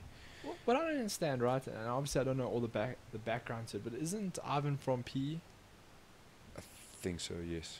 But he he does his last three weeks or something at Junkyard with Faddy. You literally have Chris Bright on your doorstep. Like that would make the most sense. Maybe there's some beef there, bro. No, no, but you know, if you're gonna be a professional fighter in you know, in a town like Port Elizabeth, where there's not a lot of high level coaching, but you've been graced with one of the best coaches in the Mm. country on your doorstep, should you go squash the beef and sort it out? If you're that serious about your career, Yeah. you know. I don't. To be honest, I don't think Ivan Stradom is all that serious about his career. He has a he has a fight promotion. You guys know that. yeah, I do know about that. So I get the feeling that a lot of what he's doing is to Is it that give him- chosen thing? Yeah, or- yeah, give him the momentum, perhaps even the financial know-how or, or means to like really promote his fight promotion. I don't. Who did he fight in his last fight? I can't even remember. Um, it was a snooze Machum- fest, bro. It was it was a snooze fest, bro. Ivan Stradon versus. Give him a No, you guys are making the same. It's the same mistake again. That's Tommy Stradom. Ivan Stradom, the Yeah. heavyweight. No, that's that's alright. Yeah, but there's a mistake on on Yeah. Tapology. He fought. It's like the same mistake they always do with Ruben Yeah. and Martin. I can't I can't remember exactly, but it was a snooze fest, man. He didn't look good at all. Um, you know what I mean? Like, Yeah. he, he, I was just like, you know, when you see a guy, you're like, oh, dude, I don't know how serious your training's been. And Yeah. Jacasa's riding two wins. Jacasa's one a monster, dude. Kokoma. Jikasa's The hard another guy who frustrates me, who should 100% be fighting light heavyweight. I think he walks around at like 103 or 102, pro- but and he, he wears fights- an awesome helmet. he fights out of Mustang Athletic, which Mm. I don't know much about, Yeah. under a guy called Wayne Rahman, which I don't yeah, know yeah. much about. Do you think he just doesn't have access to the resources and know-how of doing Probably safe just cuts? doesn't want to cut weight, bro. Look, I mean that's not uncommon, but uh, I suppose he's got success at heavyweight, so there's not much pushing him to drop down to light. I like that dude a lot, man. He's so yeah, he's a monster. Simon He's Hall called so- him out. May the force be with him, bro. May the force be with him. That dude will will. Anyway, So I think we, we all we all on straight on there. Hey? Yeah, We all on uh, Jikasa. we Chikasa, Triple if H. We lose, guys, we're all losing big. Uh, we all and we're all drinking hard. yes. Absinthe. We're gonna just put a bottle of absinthe there. Proper 12.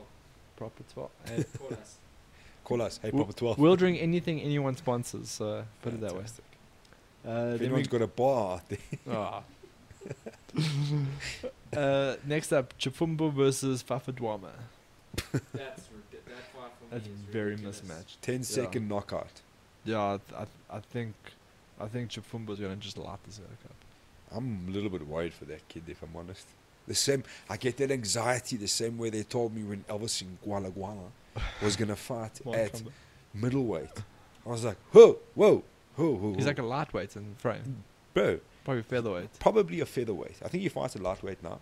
And he's like, yo, I'm just gonna go up to middleweight, and I'm gonna come back. I'm like, bro, listen, this is this is not like cricket. You're not going into the fast bowler's net to see how it's going, Yeah. and then back to the spinners. Like they're gonna break your face. Well, people don't realize it, right? So, uh, I mean, we can just we can.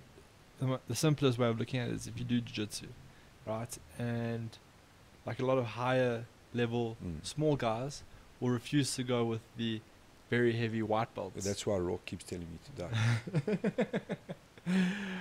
because at a certain point, it doesn't matter. Like if you have a little bit of knowledge and a lot of size or strength yeah. against someone that uh, maybe has a lot of knowledge but is not, is not the biggest. It, there's a certain point where it's just not. It's, Yeah, it's not realistic yeah, like- anymore. Like there's po- there's times when you're like athleticism can keep you going or stuff like that, but when you're completely mismatched in size, yeah, it's just. and like you, like and they give him Mark Cumber to start with. I mean, Mark Cumber's not GSP, but the dude carries some scary power at Yeah, middleweight. You know what I mean? 100%. Like it's, I, I was just like, there's a reason who hates this kid? Why are they doing this to There are re- there's reasons why there's weight classes in Yeah. combat sports, and there's reasons why camps are built around weight classes. And look, Britt, that's what happened. First right hand, that kid folded, covered up into like a fetal position. I was like, oh, please don't Yeah, let the yeah. ground and pound happen because Well, it's. there's that, there's that time that um, Elaine Lungu was at the weighing area when uh, is it something something Madiba. Uh, he completely missed weight by like 10 uh, I know you're talking about. But it was for like a featherweight fight. Yeah. They ended up fighting Elaine at welterweight, and Elaine was killed. Yeah, Yeah. it's just a No, bad I, idea. remember. I remember that. I remember that event. It, it uh, w- didn't he fight out at Fight Sports under Brendan Katz? Something like that. Yeah. yeah. very possible. So we're all with Chafumba on that one, huh? Mm-hmm. Um, Chipumu, if you if you count his amateur career, he's ten and two. Yeah. It's a lot of green. It's mental. And his losses are to Zulu Boy Hmm. and And Abdul Hussein. in, Which, in fairness, he was honeydicked into that. yeah. Like. Um, Thanks, Brave. so main event of the preliminary card is Devin Cronje, Guy Mugambi. No, they're now on the main card. Oh, has it been up? Yeah. Well done. So just well done, boys. just to just to reiterate again what happens if you jump ship to Brave. Yep. Even if someone pulls out, you still stay in it. I wonder. I wonder if Dino Oh, versus Pete is going to be on the preliminary card. what are you talking about, bro? I don't know anything about. no, they announced it on social media the other day. Did they? They said that Dino was in the office talking about fighting Pete Cox. Ah, ah. Didn't they? no, they did. It was on Graham's thing. Okay. Yeah, it's I'll- probably going to be a prelim. No, no, no. But if you look at the fight card now on the website, it's got Petey Coxon versus Blank, who is now Dino, Dino Baggett. Baggett, according to Warren. Breaking news. Um, Breaking news, people. yeah. or so if you watch Graham's post about five days ago, you'd also know that. But can't watch them all. PT brought it against Conrad. I thought he- I thought he beat Yeah, he looked quite good. You think he won? But, but, Conrad versus Dino, you're talking about two different worlds and striking. No, no, definitely. Yeah, listen, you, you're getting you're getting sucked into a firefight, uh, you know. And, and look, fair enough. It, th- that was a big problem in Dino's career was he constantly got sucked into those firefights. But if you watch like his fight against Bruno Makulu, restrained, resisted, got the job done. You're not gonna. It's gonna be very hard to draw him into that firefight. And it's the only way P. Coxon survives that. Well, that's you know what what I I'm saying that the potential for that being in card fight is high, but Pete is fighting Conrad. Yeah, fair enough. But we, I hope so. but It's PD also didn't go to Brave. yeah. This is the next. This is the next issue. Anyway. Okay, so Cronje Mugambi, I, I think. I This is an Con- interesting fight, to be honest. Guy Mugambi is he's one of those dudes, man, who doesn't go away. He keeps coming forward. He's super He fought hard. to- Lutando Biko eh, Yeah. in Sun City. he's super hard to put away. Yeah, I remember Lutando had a tough time. Like, Dude, he's he just couldn't put him away. Yeah. You know what I mean? And like, you you got to look at a guy like Devin Cronje when he's when he's facing that adversity of a guy that just keeps coming, keeps coming, keeps coming. What he's going to do and how he's going to deal with that. I think Devin has all the skills to do it. But whether he can mentally deal with that, you know, if I, I think if he can't put him away, if Devin can't put Guy away in the first round, and it's gonna you're gonna have to choke that dude out. He's one of those dudes. I, I, very unlikely he's gonna get knocked out. Look, as I'm saying that, you know, I know I do realize the risk of what I'm saying, but he's one of those guys who keeps coming forward, high guard, chin down, keeps. but you're the oracle. You're the oracle. You called the Lobo of Malin- Malinaji fight. The goat, boy. Don't ever bet against the goat, bro. You know what I'm saying? So, you know, Devon's going to have to. I see Devon having to deal with some adversity, But I feel like he, he, he really needs to put that away in the first round. Not Yeah. to say that he can't win a decision. I definitely think he can, but I think it's going to be a way easier night for him if he can get it done inside one. Because that second round is going to start to be more frustration. This dude keeps coming forward, keeps coming forward, keeps coming forward. Yeah. He's very good in the scramble. He's very good at, at, at uh, you know, like using that octagon space, the hexagon space really well, coming forward when he needs he's very to. athletic. Yeah, exactly, and he doesn't get tired. You know what I'm saying? Um, there has been, you know, you know, Devin. Sometimes we worry about his cardio and stuff like that, but uh, I think he's definitely got the skill set. I think he's. People forget about how good Devin's wrestling is. He's got a really good wrestling base. His jiu-jitsu's coming on leaps and bounds. We, we see what he can do in the stand-up department. Montgomery's two and two. He lost to Dan Shield and then Sylvester, but then got two decent wins with uh, against TC Pusa and Wake Bay. Who did Yeah. Lutando fight? Well, that was a different uh, brothers in arms Uh, fighter. Montgomery's from CIT. Yeah, it's CRT. Is it? Yeah. Yeah, don't listen to me. I still think Devin will get that one done. Yeah. I'm- Yeah, I'm no, look, I think you will. I think you. I, I'm, I'm going to call a little rear naked choke there from Devin. I also think so. Um, the other thing to factor in is that if he's from CIT, Or a guillotine, actually. without shitting on CRT, uh, that camp doesn't seem too in place at the moment. Yeah. I feel it, like whenever you see any sort of social media, it does feel like it's very light at the moment. Yeah. Like the guys that are training together as a, a core group of like five or six guys. Someone get keeps someone keeps asking me on social media about um, the Makishi brother that's based out of CIT. Uh, like where he is. I'm like, ah, I don't know. I don't think he's based out of fought CIT. Yeah, Devin did fight Lieutenant. Who did Biko. Lutando Biko fight? Who did Lutando Biko fight in Sun City? The same night that Alain Bordeaux had his life rearranged by Dolce.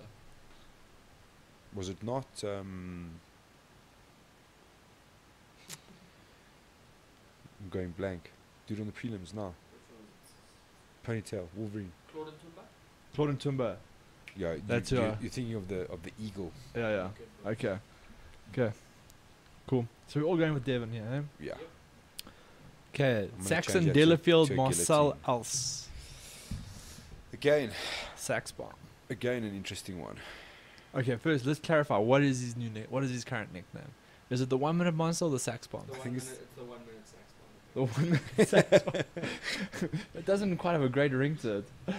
And it's gonna be it's gonna need a big a big banner Yeah, to yeah. fit that on. Yeah. Um, I, look, I used to train with Saxon. I know what Sa- Yeah. like I, I personally know what Saxon's capable of, and I definitely wouldn't bet against him. Yeah, I think he's. I think there's like, like we discussed before his last fight. You know, obviously I spoke to him. He's um, this new Saxon Delafield is, is a force to be reckoned with. He's got an obvious goal in mind. Um, I don't think anyone's going to stop him. I also think mm, Marcel Elsie is a great practitioner. Um, you know, massive student of the game. I've seen him in, in his environment in HOT. You know, like he's super committed. He's always there. He's helping the kids. He's helping people. He he's always rolling. You know, he's he's very committed. Um, I don't think he has any business at lightweight for the most part. I think featherweight is is, is where he belongs. I'm not quite sure if Wha- if, what- if he has to beat What weight did he fight Stefan De at? featherweight. I'm pretty sure. Okay. Uh, who who else? Else. Marcel He Else. didn't fight Stefan De La Rey. Who did he fight? His in- last was fight- in, uh, Nerek. Yeah, Nerek Oh, Simões. Nerek, Uh, sorry. Be- beat Nerek around one punches. Then Kabea Misi before that. also No, no, no, so, sorry, no. uh, you're yeah, right, four you're right. I was, I was thinking of the Pretoria card. So like, uh, you know, A focus Saxon is very scary. Hundred percent. And Saxon's a big dude, bro. No, he's very You big. know what I mean? Especially if you're, like limping into lightweight. Cool, you don't have to cut weight and as much weight and stuff like that. Look, Marcel is Marcel is a very good ju- jiu-jitsu practitioner. I mean, he comes from JP Kruger's gym, so you know he's going to bring his stand up. I don't think it's going to be like this lopsided sort of Saxon Delafield all the way. Yeah. I just feel like the new Saxon Delafield is going to be too much for him to deal with. Yeah, he's got, he's, W- uh, He's at a good camp as well. Yeah. He really is at a good camp. Yeah, dude. With a strong boxing base, which is what he needs, and a really strong jiu-jitsu program. So, sure. um, yeah, I, I, I definitely see Saxon getting that, that both victory. off fairly impressive wins. Yeah, and they're both on a tear. Good fight. It's a good fight. Very fight. good fight. But I'm going to go Saxon Delafield. Then you, we you said Marcel. cool. Did you say Marcel? No, I didn't say Yes, that. we got no, some- no, no, we no, got some variation. Rourke said Marcel. No, put. I like Marcel, but I saw Roll. him, I saw him mouth to me. He went Marcel. Oh, Can he I, did. Can I cancel both decisions? Can I sit on the fence for this one? Then you definitely drink. No, you're in. Put me down for Anyway, Marcel. But on. ah, Put me okay, down for Marcel. okay. Then we have um, we have Luke versus Conrad. Oh, another interesting fight. You know, you know, this is what I was saying. Like the same like PT. Conrad is so good at sucking people into that firefight. I think he's so good, and I think if he can get that right, I think Luke's got a long night ahead of him. That Are you being, used to, are you going with Conrad? mm, that being said, Uh, he did say Conrad, huh? He said that's Conrad. not what I said. he said Conrad. else, so I didn't make you do anything, bro. Conrad. Al says. I didn't make Al you says pick Conrad. anything. What Al I'm gonna say is says there's, Conrad. there's obviously we'll see you training tomorrow. there's obviously gonna be, you're just setting me up. Yeah. There's obviously gonna be a I massive I definitely said Luke. I Um, definitely said Luke. War- Warren and Rourke said Luke. I'll anyway, say Conrad. I'm still gonna go with Luke, and I'm gonna say why. You know, there's gonna be a massive discrepancy on the ground. The trick is gonna be Oh, for yeah. Luke to get that fight to the ground, and I think everybody knows it. I think he knows it. I think Conrad knows that. Conrad, you're, you're not gonna knock out, knock him out easily. Um, you need to have scary power in your hands. You need to have a very good striking ability to get that right. You need to, you know, it's not going to be a, a, a one punch knockout. It has to be worked over time. And I just don't think that that's Luke's game. Yeah. I think Luke's game is very obvious. Um, he's very good at it. His his top pressure is, is ridiculous. Yeah. And I think that's how he's going to get it done. Eventually, Conrad's going to make that mistake because he's going to be so worried about the takedown. He's going to actually force himself into a mistake, and it's going to end somewhere there. Have you ever like watched Conrad striking? It, it kind of feels like he wants to hit you, but he doesn't want to commit to hitting Yeah. you, and he kind of like hangs in this like And weird, he- he- weird the- range. Most people don't. Don't- see, don't get me he- wrong, though. Yeah, he, he likes to sit on the back foot and like and, and then counter. He's, he's actually quite a good hit by counter. him. No, no, no. He hits. He hits hard as a truck, man, and he can take a shot. Yeah. You know what I mean? And and, and and and that's the key detail there. I think, and like I say, he's so good at drawing you out into that firefight. I, I don't know what it is. I mean, like if, if you see like from his from his hips down, he, he's a monster. Yeah. Like to, to get your hands around somebody like that and try and pull them down to the ground is, is no easy task. So I think you, you you think about that a lot. You know, you're scared to engage because of his power. Um, he has heavy hips and all of these things you've got to deal with. He's very good at countering as you step into that into that sort of green zone. You know what I mean? Um, tough fight. Look, it's a tough fight. That's one of those fights that can quite easily go to the to the the, the think cards. That's gonna be a Um, from I can't remember, so it's a legitimate question. How's Conrad's cardio historically?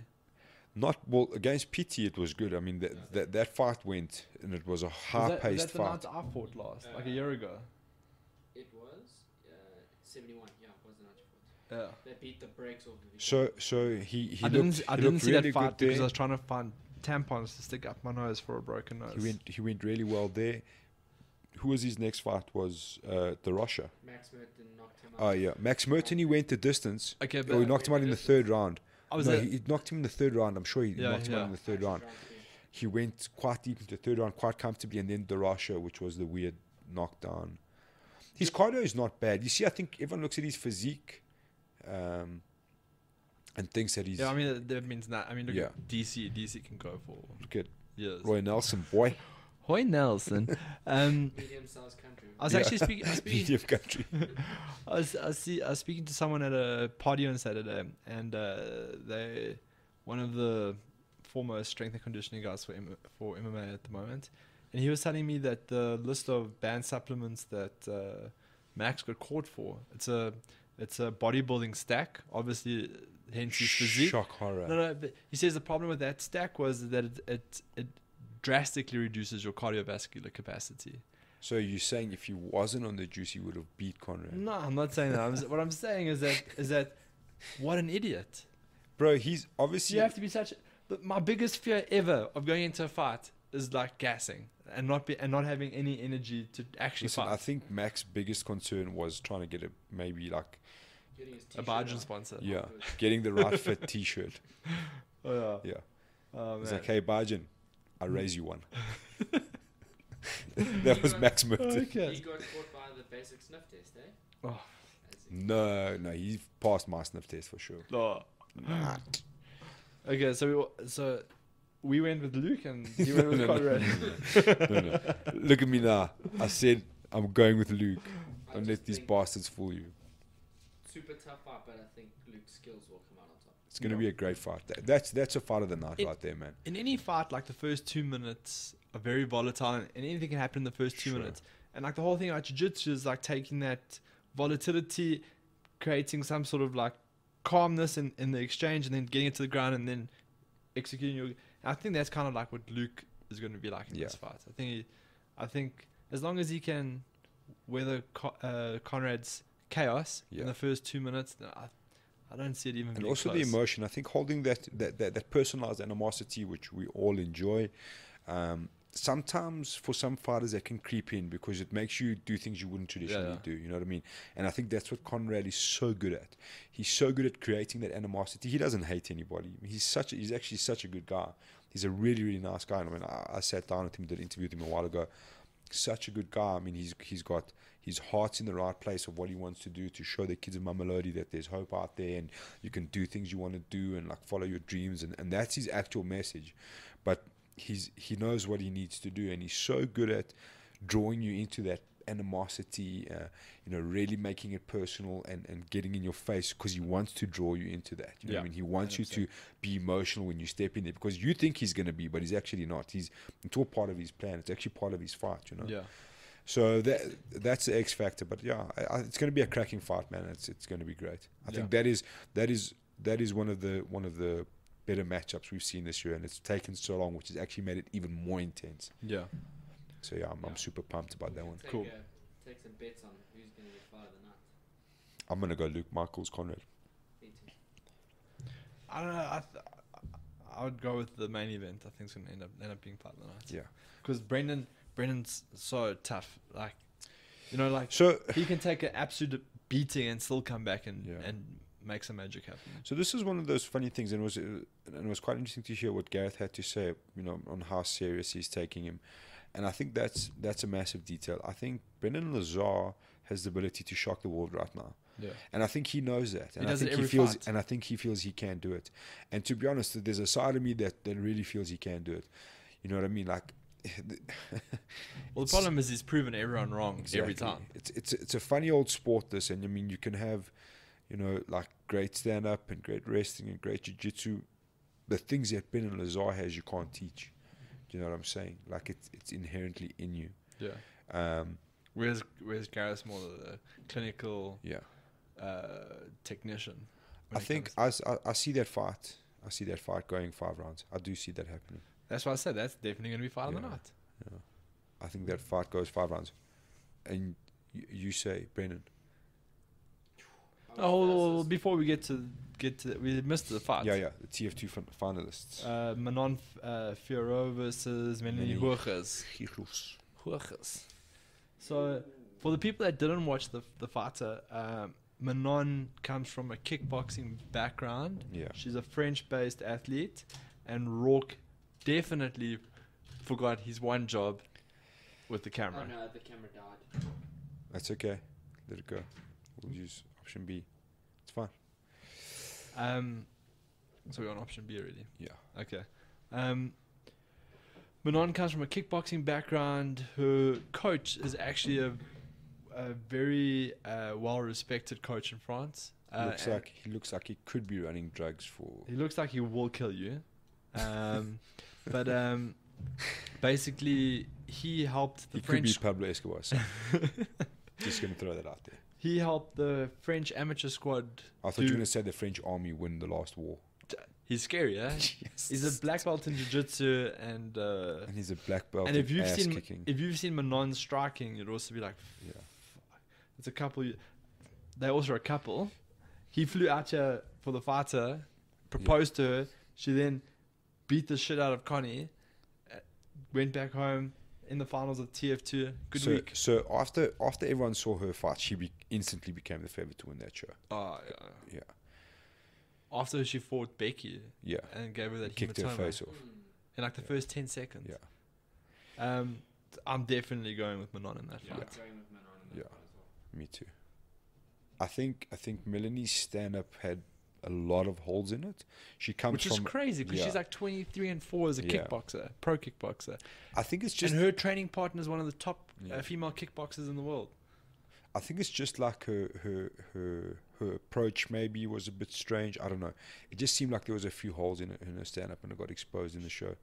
Um, She struggles to just get stuck in. I think. Yeah. She's, Although that, that semi final fight was epic with her and Kayla. yeah, That was that was great to watch. she got she got pieced up though. yeah yeah She got her pieced face up.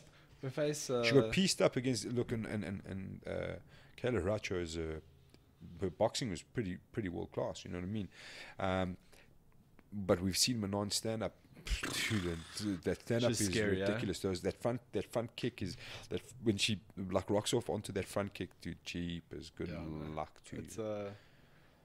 Uh Athletic as hell. And guys, don't look at their pro records because there's a lot of fights that happen outside of those pro records Mm. between exhibition fights and amateur fights. Uh, yeah, it's uh, they're two very highly skilled uh, athletes. So So we're all going. Manon on that one, yeah, and then the main Yeah. event of the evening. which we touched on already, and I. We just, we just need to do the forecast. I like I like this fight. I'm very excited about this fight. I'm I'm I'm, happy to see Soldier Boy, um, in, in in a time when when the EFC really needs a star, like a big star. You know, um, his star power. I mean, there's so much buzz about how full. Uh, Carnival City is going to be sold out. Like tickets are going to become this mad scramble. I mean, you know, it's going to be press identifying themselves. It's got like this big event feel about it. Yeah, you know, and that's mostly due to Soldier Boy. I mean, obviously, his dance partner Brendan Lazar has a part to play in that. Um, it's going to be a crazy fight, man. I'm, I'm I'm super pumped for it. Super Yeah. super pumped for it. Who are you going with? I'm going to go with Garreth. I'm going to go with Garreth. It's one of those like Rock. it's one of I those know like, your I know your rule in life. Never bet against Brendan. yeah. So you're going to it Brendan. twice. Yeah, dude, it's it's such a hard thing, you know, and I feel like I feel so bad picking anybody in this fight. To be honest, like I'd I'd, I'd much rather stay neutral. Um, I think experience is will, will be the deciding factor. In my mind, I see that fight going going five rounds, um, and and and like maybe like a, a- the final round kind of wins it. And I think Garreth will have the experience and the know-how on, on, on how to accelerate and when to accelerate to to just get that scorecard up. You know, that's the way I see it anyway. Yeah, it's like a weird one because on paper you like Garreth is clearly the favorite on paper, Yeah. but historically, you just statistically, Brendan's been the underdog every single Yeah. time he's fought and has won every single time. I know it only says two and oh zero on his pro record, but all Dude, the but all the exhibition fights when he fought Shaw Dean and he just mollywop that yeah, oak and then physically he's an he's an absolute beast, bro. Yeah. He's an absolute athletic specimen. Yeah. You know what I Put me mean? down for Brendan as okay, so I like it. Rourke I is like Brendan it. Lazar. I think I am going to go with Brendan on this one. Hmm. Somebody gonna drink? I don't know who.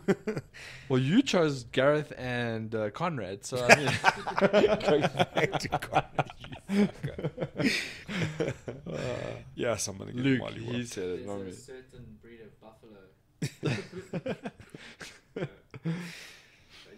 Yeah, I think it's ah, man. I, it's, it's such a it's such a tough fight. A- Again, it's it's, it's going to be a great fight. Those last three, let's say even four fights: Saxon, Delafield, Marcel. Else, It's, it's actually a really good card. Yeah, that's You know what I mean?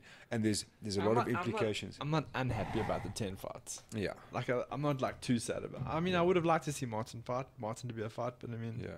I'm not. I'm not unhappy I about. mean, the you 10 can get fights. home at like an adult Yeah. time. You know, like Oh, is it an early live start again? No, it's, it was meant We- to start at five thirty. Yeah. No, live. The live broadcast. yeah, it'll be eight. on Eight. Super Sport. Those are the best, eh? Cool guys, I think that's it for today. It's a bit of a long one, but it is fight week and it's a it's a great Lots to talk so about. Lots to talk about. I only got to page two on my notes. Thank goodness. we yeah.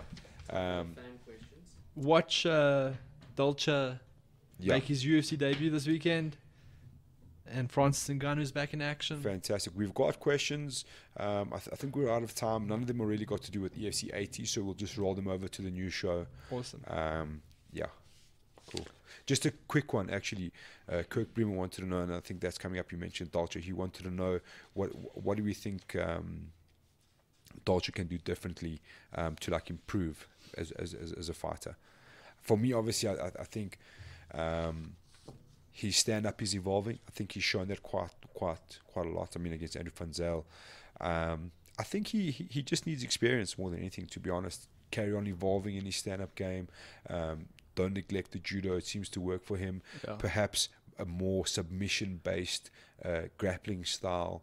Those are the things I, I would be looking for. The scary thing is when you get when you get a fighter like Dolce to move away from what got him to the show, it's a little bit dangerous. It's, it's when Yeah. like when Ngannou lost to Stipe and then tried to reinvent himself, Yeah. and then became someone no one wanted to watch, right? Sure. And he had to go back to being the old Francis to get back into popularity and to actually start getting back Mm. into winning ways. So, like a bit of a, a difficult one, you know. I think you can draw a lot of parallels to the Francis Ngannou story with Dolce. I think he needs to stick to what he's good at and keep refining those those elements of his game. Cool. Sweet guys. We'll chat to you soon. Right. Ciao. Cheers.